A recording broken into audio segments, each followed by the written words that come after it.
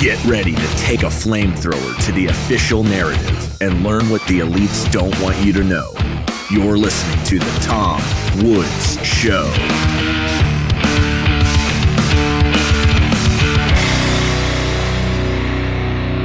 Hey everybody, Tom Woods here. It is episode 2572 of The Tom Woods Show. And this week I am in Buenos Aires on my first ever trip to Argentina. And I found it a little tricky to get all the episodes recorded before departing. In fact, I probably have to do one down there. But here's what I was thinking you and I have a kind of implicit contract, let's say, whereby I release three episodes a week and you, you know, listen to them or watch them. And I don't want to break that unless I have an extremely good reason. So, for one of the episodes this week, I decided to do something a little bit different. And that is, I want to share with you something that hasn't gotten a whole lot of traction online so far. So, chances are you haven't heard or seen it before and that is the speech I delivered to the Mises Institute on the occasion of their supporters summit in October of this year, 2024. And the title of my talk, I think, will intrigue you if I know you at all. And the title is Our Enemy, Public Health. So I hope you enjoy hearing this. The Mises Institute, of course, is at Mises.org, M I S E S.org and they were kind enough to invite me. And this is what I had to say to them. So enjoy. Ladies and gentlemen, I'd like to thank Carl and Karen Bowen for supporting the Mises Institute and, in particular, for sponsoring my talk today. Yesterday, Bob Murphy took a little shot at the old man here. And it, it, you know, it kind of reminded me of old times. You know, that's how we all how we used to be. And the thing is, I think the last time I did that to him was in Vienna. And the problem there was the Europeans didn't really know about the relationship that Bob and I have. Some of you in this room know that Bob and I used to host for five years the Contra Krugman podcast, and that we've known each other and worked together for a very long time, and that part of that relationship involves taking little shots at each other. Well, over, over in Europe, they just thought I was being mean. so my joke fell flat. We were over there, I was getting an award, and so I gave a speech and I was thanking people uh, who had helped contribute to my receiving the award. And at the end, I said, now here was the line I used. I said, and I'd also like to thank Bob Murphy for not being quite good enough to win the award himself.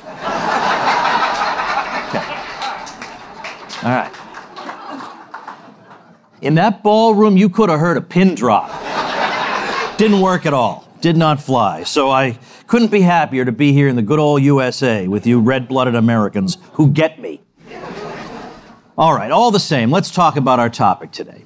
When I heard that we were going to be loosely basing the talks around the theme, Our Enemy, the State, I came up with the title, Our Enemy, Public Health.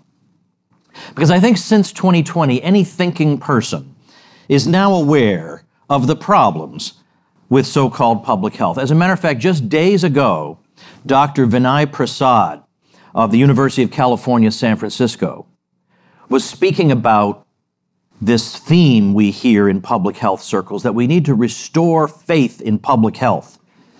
He says, I don't want to restore faith in public health. He says, quote, public health deserves to be distrusted. Good man. Public health in general is an intellectual train wreck.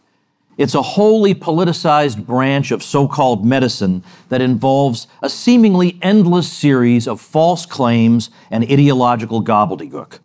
I mean, remember, racism is a public health issue as justification for why otherwise you have to be locked in your house, but you can go out to protest what happened with George Floyd. No self respecting discipline speaks or thinks that way. Now, we should have denounced public health sooner and written books about it sooner. And I think before COVID, we just didn't pay enough attention to it. We just certainly weren't paying enough attention, uh, as much attention as it deserved. Now, that's partially because its overreach wasn't quite so great in those days, but also because we have a lot to criticize. You know, we have the Fed, we have the IRS, we have all the cabinet departments, we have civil liberties violations. I mean, it's exhausting being us. You can't do everything. So let's not reproach ourselves too much. But beyond all this, they also want to impose their plans on you uh, without having to deal with such mundane things as judges, courts, laws. So, for example, you'll recall how unhappy Anthony Fauci was when a federal judge overturned the mask mandate on planes. Now, by the way, the reason they were unhappy that the mask mandate on planes was overturned was not that they thought we'd all get sick. The reason was that they knew we wouldn't get sick. And then we'd start wondering, well, gee, I wonder what else has been pointless that they've been pushing on us. That's a very, that is a very important question to start asking. But he was very he said this is a matter for public health to decide and not properly a matter for the judiciary. Well, you know what? Tony, nobody actually consented to a dictatorship run by, I shudder even to think about it, public health officials whose 24 7 barrage of false claims survives only because no mainstream media outlets you know, bother to question them. Now, let me read you a passage from a book you may not have read, but whose author I am sure you know.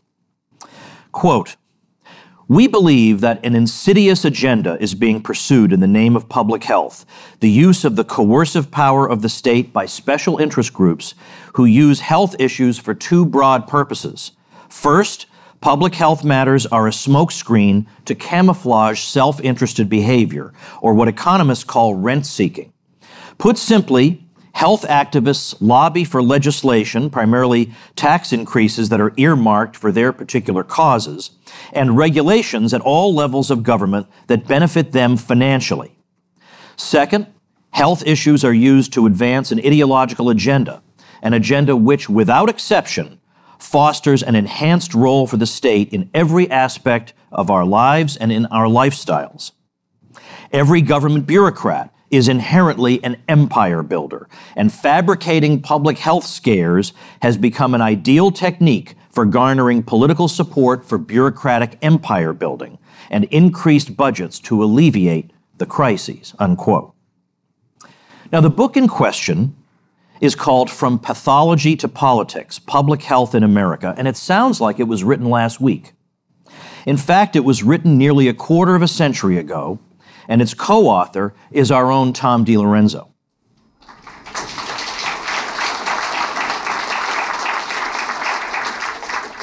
When Tom is not busy predicting the future, he is president of the Mises Institute.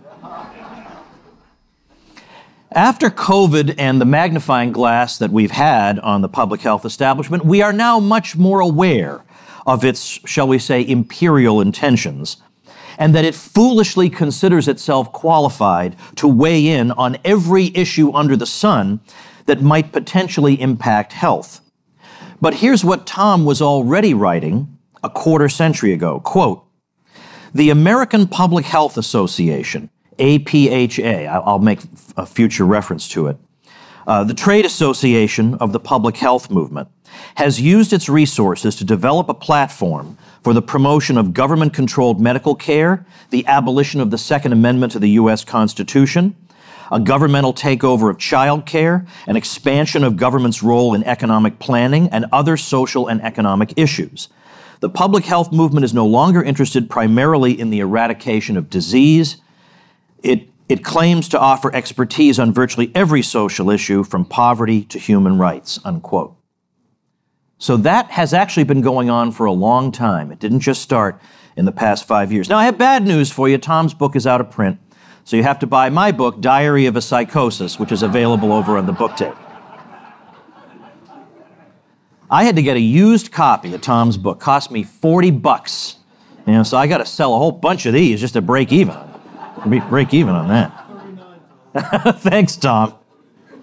Now, several months ago, our, our Surgeon General Vivek Murthy declared firearm violence is a public health crisis in America that poses a serious threat to the health and well being of our country, unquote.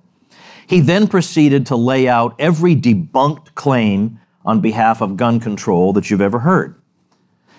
But as Tom pointed out in that passage just a moment ago, this is nothing new for public health. Just a lot of us haven't been paying attention. We haven't noticed because we've been busy. Now, let's take a brief look at the theme of the APHA's annual convention in 1996. I guarantee you would much, much rather be at the Mises Institute Supporter Summit than be at that thing. Their annual convention was called Empowering the Disadvantaged Social Justice in Public Health.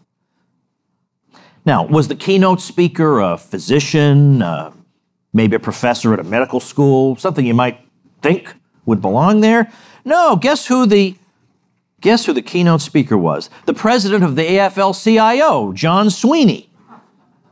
And he told everyone there that he wanted them to quote, help us rejuvenate the labor movement, unquote.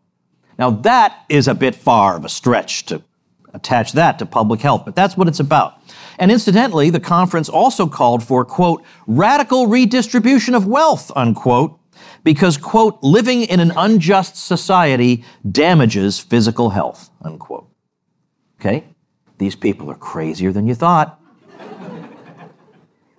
Tom also found that in the August 1996 issue of Health Education Quarterly, widely circulated within the CDC, we find this quotation policy, policy advocacy skills for creating social change must be provided to community groups rather than, for example, providing individuals with skills so that they can make better personal choices, unquote. So in the old days, that was more or less what they thought their role was. We'll try to give you the information you need to be informed and make good decisions about your health. That's kind of old hat now. What we need to teach now is how to agitate for political change. All right. Now, one of the things that public health has claimed to really be oh so concerned about is children. Your children in particular, they care so deeply about them. Nothing, nothing concerns them more than the health of your children. Now, I'll say in parentheses, there was a moment over the past few years when there was a desire to get parents to get on board with getting the COVID shots for their kids. And so the propaganda ramped up insanely during that time, and we began to hear a report, and this was echoed by the White House, by professors at, uh, at Harvard, um, by uh, the uh, Surgeon General, everybody was repeating it, that COVID was a top five killer of children.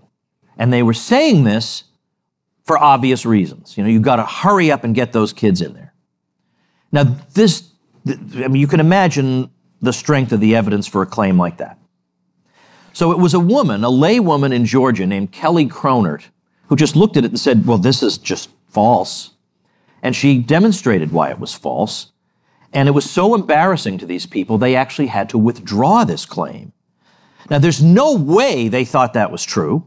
There's no way they thought a lot of kids are dying because of this thing. No possible way they could have thought that.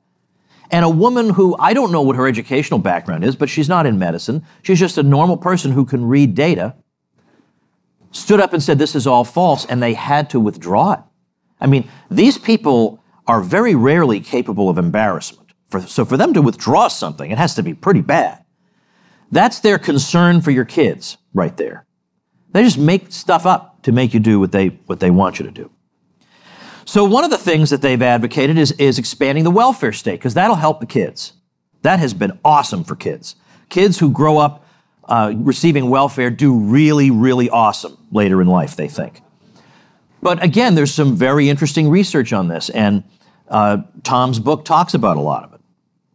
We have evidence that the longer a child's family stays on welfare, the lower that child's IQ tends to be. And no, it's not a function of poverty per se. You can control for that. And just look at people on welfare.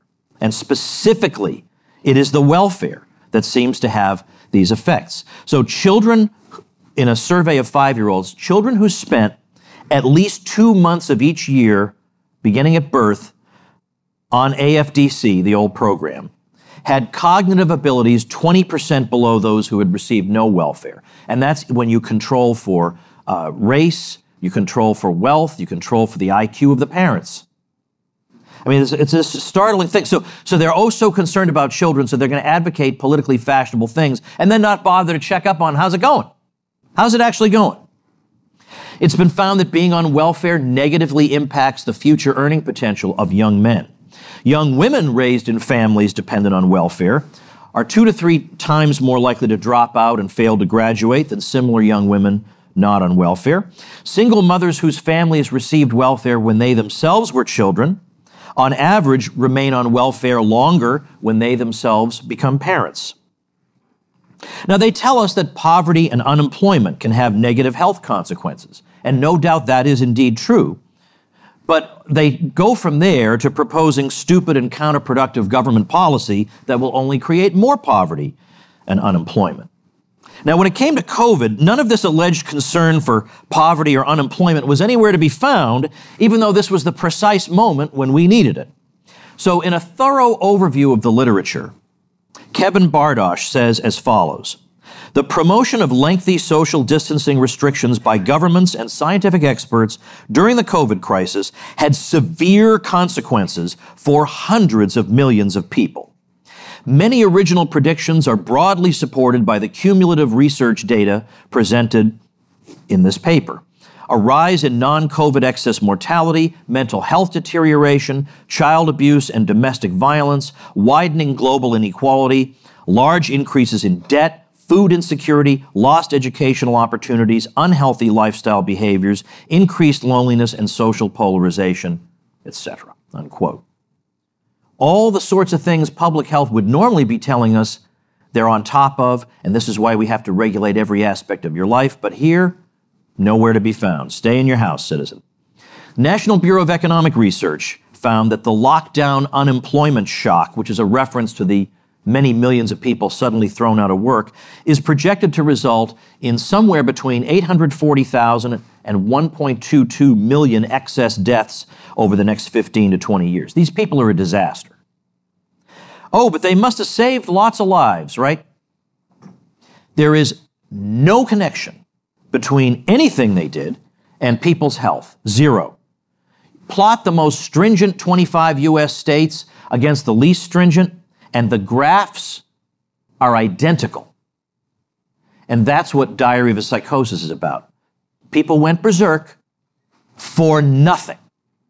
Nothing. No positive effects. Nothing. Florida outperformed California in excess deaths. Now, that's not supposed to be possible. If we had asked these people in March 2020, what do you think will happen if we have a laissez faire state, relatively speaking, and a psychotically locked down one. Which, when they finally allowed Disneyland to reopen, the last Disney property in the world to reopen, it was reopened at 15% and with the instruction please do not scream while you're on the rides. Those screams are involuntary, Gavin Newsom, but.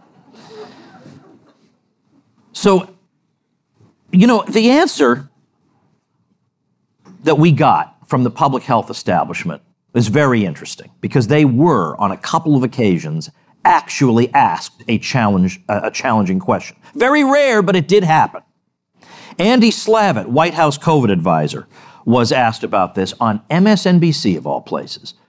Why do you think it is that Florida and California, especially when adjusting for age, seem to be doing about the same? What do you think the explanation for that could be? And I'm going to let you hear his own words for, for yourselves. I have a little site called diaryofcovid.com, and there's like a two to three minute video on there. And it's got some of the greatest hits of Anthony Fauci and Andy Slavitt. And I want you to hear, because you think in the back of your head, maybe they have some really scientific answer to this. No. Go to diaryofcovid.com watch that little video and see what their answers are. And then think to yourself, my neighbors still trust these people, even after this. Even after this.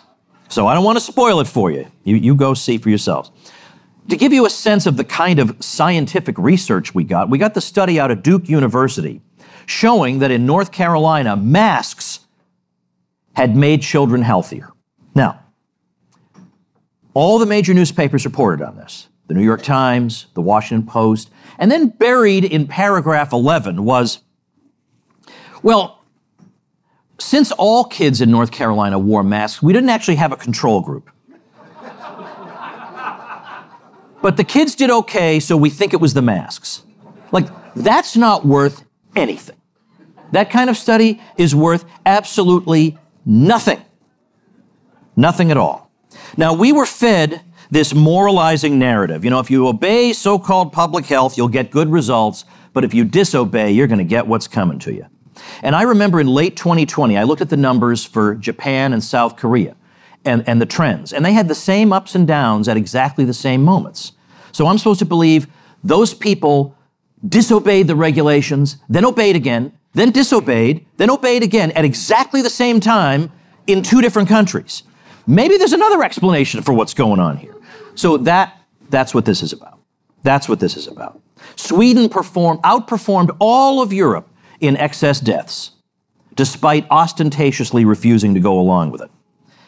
So these people, the World Health Authorities, did nothing but lie to us about what was happening for several years running, and none of what they foisted on us accomplished a single thing. Well, I take that back. It accomplished one very important thing.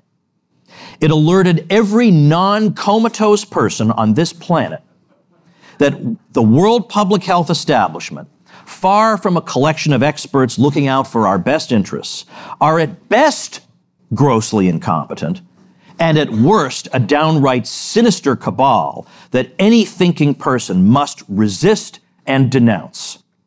Thank you very much. All right, everybody, I hope you enjoyed that. Before we wrap up for today, a couple of quick things. Number one, my cruise is coming up very soon, and you can go on vacation with me and with Scott Horton and with other Tom Woods Show favorites. Heck, we just added Mikkel Thorup, our great expat consultant who knows everything there is to know about traveling and living all over the world. We are going to have an absolute blast. There is a reason some people are coming back for their fifth time on one of my cruises because it's the best thing you've ever done. It doesn't matter. I don't want to hear I don't like cruises. Now, that's because you've never been on one of mine. Okay. This is absolutely unforgettable. So check it out at tomwoodscruise.com. Or if you'd like to see some video footage of a previous cruise, you can go to tomwoods.com slash cruise. But by no means should you sit this one out. This is going to be extremely memorable, something you'll regret if you don't do. So, you know, you don't want to live with regret. Second thing is never pay for a book again. Don't listen to Michael Malice. Instead, go to tomsfreebooks.com. I've got books on every controversial topic under the sun at tomsfreebooks.com. And all you got to do is go to tomsfreebooks.com and let me know which ones you want, and they get sent to you instantaneously. How about that? tomsfreebooks.com. Thanks so much for watching and listening today, everybody, and I'll see you tomorrow. Make yourself and those you love less vulnerable to the regime, both mentally and physically. Get more forbidden information at tomsfreebooks.com and be sure to subscribe to the show wherever you listen. See you next time.